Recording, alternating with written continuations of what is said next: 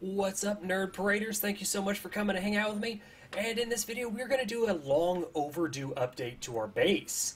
Uh, we've done quite a bit since the last base video, which I believe was about three to four months ago. And I think it's about time we do some uh, some showcasing of the improvements. I've, I've got my original perimeter here.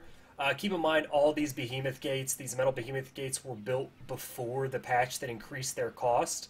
Uh, now it's just super expensive to do. So we've surrounded our perimeter once more in the stone behemoth gates to add a little bit of extra layer of defense and make a little uh, a Mosa pin for our bro out there. And we can stack some of these stone gates to give us like higher in the water so they stick out. That's one thing really cool about stone gates that I don't think metal gate behemoth gates can do is you can stack those puppies right on top of each other if you get it ever so right. Now, you'll probably notice one of the bigger changes is we got rid of our little canopy here, and the walls of the base are completely surrounded with metal walls now. We made like a sandwich effect. So we've got metal wall, behemoth gate, then metal wall again. So we've completely eliminated any type of outside or ground level entrance to our base.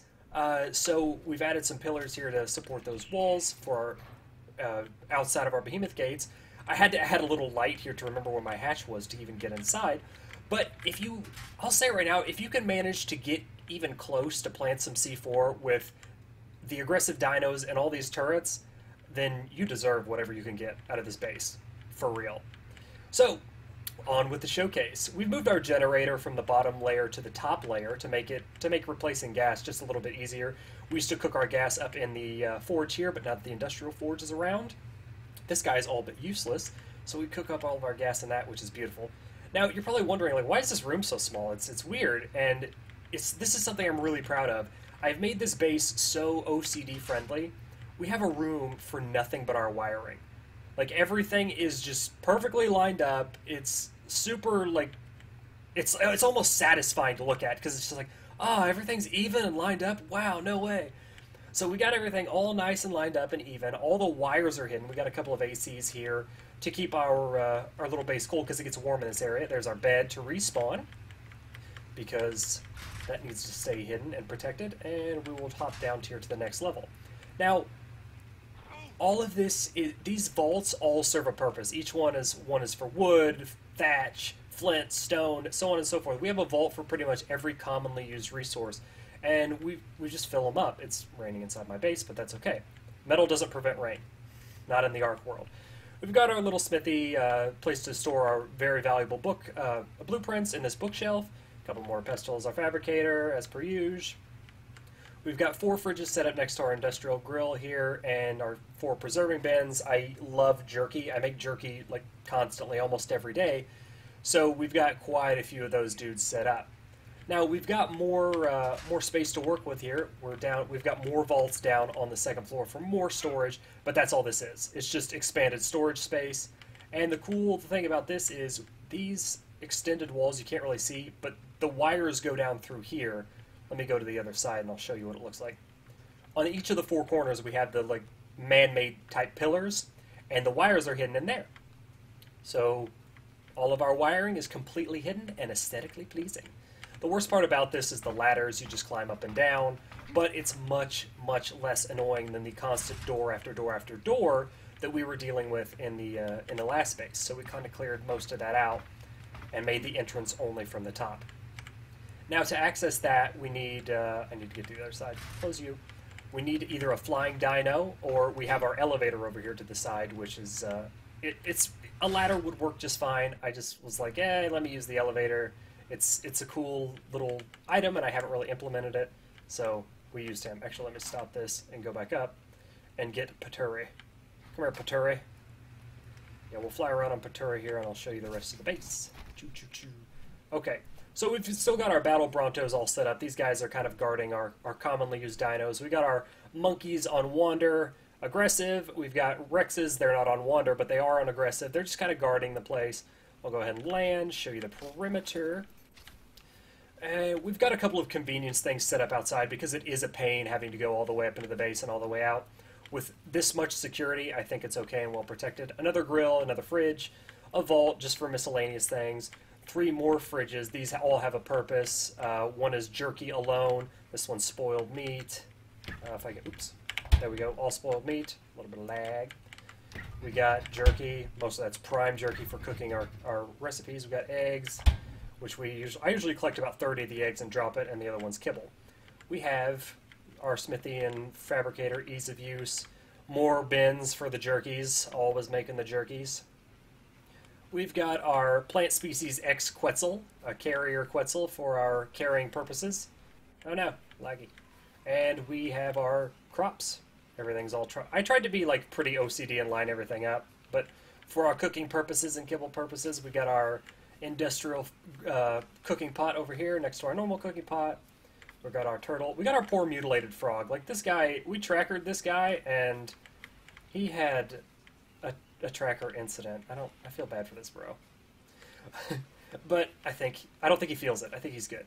So we've got our we've got Death Raft 2.0, which we just went banana. T- putting turrets on things is clearly my mo. So we've got Death Raft 2.0 out there. We hey uh, we take Death Raft out whenever whenever anybody needs to be demolished. We've got a, a vault over here. This one is solely for chitin and cementing paste. Just when I come back from the swamp, I just throw it right in here on the frog. The swamp is right out of my gate over here. Let's go to the map. I'll show you. See, we're right here on the little peninsula, and the swamp is real close by. So we do that. I'll show you our dino pen, which is brand new. This is where we store all our dinos now. We got two of every dino. It's a straight up Noah's Ark. Our poor, we've got a couple more frogs in here, and they've phased through the floor. Poor guys. All our Rexes are stored in here. Our monkeys, these are mostly our breeding dinos, and the dinos we use to just harvest egg for, eggs for kibbies. And we are oops, getting a little frame rate. We're going to close this. We're going to head up to the top layer. This is where we store our big dinos that can't fit through those tiny little baby dino gates. So we got our Spinos, our Mammies. We got, oh, it gave me an egg. An egg and a poop. And we've got our Quetzies, and there's more Paturis, which I lose constantly, so I have to keep my backup battery. He's Got a couple Argents over here. So this is our dino pin, and we've roofed it all off. We've got, as you can see, we've got our electricity all up there at the top to supply power to our turrets up there. Let's close this as we fall out. The next thing I'm going to show you guys is the Giga pen and the breeding section. We've got a Giga on the outside perimeter that we have on aggressive. He's kind of our guardian and our protector. But we have our two Gigas that we've been using for breeding over here in this area. Got a couple of cages for our, our victims.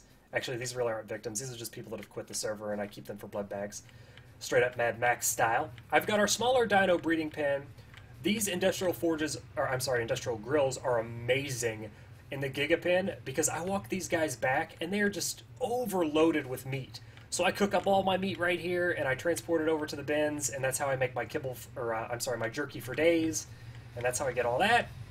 We have our uh, AC unit egg hatching incubator area uh, with these eight AC units. You can hatch anything from Giga to Quetzal to, I mean, Dilo eggs. Any egg, it doesn't matter. It doesn't matter the temperature. The, I did a video on that. The AC units are uh, amazing, just absolutely amazing. We'll go out here through here. This is where our Guardian Giga is kind of chilling. I got him just just hanging out. Got a little ramp up here built so I can walk him around. Oh, frame rate. Oh, the frame rate is so bad. That's the problem with having so many structures in a certain area. Your frame rate's gonna go down just a little bit if I can get him up. I'm scared. He's he's gonna fall down and stub his toe and he's gonna enrage at me. So I have this ramp here and I'm gonna use it.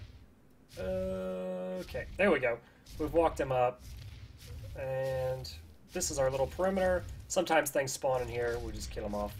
Get a little meats, take a little poops, you know, pretty much do the thing. Alright, we'll hop off him. And that's it, guys. That's the update to the base. We've got our dino pen. Uh, we've surrounded our perimeter, put down some foundations just to prevent our, our spawns. Uh, you probably have noticed, like, we have these little ramp type things with the foundations here. That was each one of these had a cooking pot on them that we would put wood in to cook up charcoal. We've since gotten rid of them because now the industrial forge can cook up charcoal like crazy, and we don't need them. I, can I just say I love this thing? This the industrial forge is amazing. But that's it. I mean, we've closed off our entrance here to the front. Uh, you can't really sneak in or get in anymore. Everything's sealed off. You can't do anything from the front end. Everything is from the top. It's uh, it's pretty secure. I welcome anybody to try to to try to break in. I if there is a an Achilles heel to this this base, I want to find it. You know, I want to. My goal is to build the most secure base, and uh, I think we have a pretty darn secure one here. Well, guys, I hope you enjoyed the base video update. If you did, please leave me a thumbs up. Uh, if you haven't done so, subscribe to the page for some more cool videos. I do ARK videos and, uh, you know, the like all the time. And uh, if you guys want to play on this server, this is the most important part. If you want to play on the server, search for Nerd Parade in the unofficial server section. If you can't seem to find it, because sometimes it's uh, it's a little wonky, it doesn't always show up, uh, either add Nerd Parade on Steam or uh, you know leave your your Steam name in the comments or something like that. I will uh, I'll add you, get you an invite. You can join off me, whatever you guys want to do. And I uh, I hope you liked it. I hope you liked it. I hope you think it's a cool design. If uh, there's any way you think I can improve it, let me know. You guys take care. Stay awesome. See ya.